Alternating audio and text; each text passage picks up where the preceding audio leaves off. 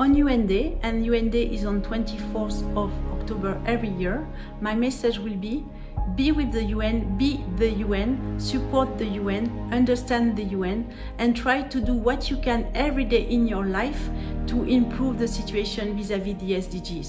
There is a lot of little things that we can all do that will help us to live better together in the future and leave a better planet for our kids and the generation to come.